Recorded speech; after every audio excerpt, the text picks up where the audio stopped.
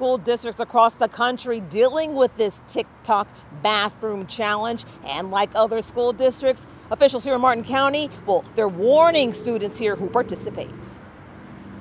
Just something on the back like a holder, and they'll rip it off the holder and then put it in the toilet. This is a photo of where one of those soap dispensers ended up. Frank Frangella is the director of safety and security here at the Martin County School District. It's on TikTok, uh, and what they're doing is they're doing damage to bathrooms, such as ripping off um, soap dispensers, throwing it in toilets, stopping up toilets, then posting it on, on uh, social media.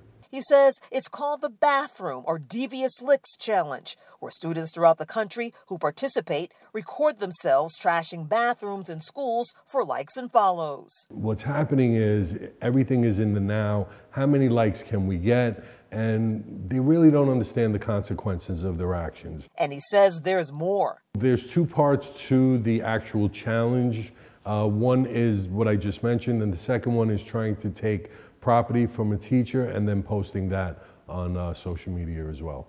The incidents have taken place at each middle and high school here in the district. One principal sent this recorded message to parents. It is my hope that you will speak with your child this evening to ensure they understand the importance of respecting themselves, others, and our school property. Officials at TikTok say they're removing the content and redirecting hashtags. They also released a statement, which in part reads, we expect our community to stay safe and create responsibly, and we do not allow content that promotes or enables criminal activities. Depending on how much damage is caused, or if you're actually taking something, personal property, from a teacher, that's a crime.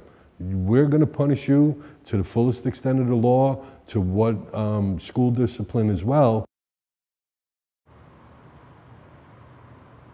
And he also says he's asking anyone who saw something to say something. And he says there are several venues, platforms students can use to remain anonymous. Reporting live in Martin County, Angela Rozier, WPBF 25 News.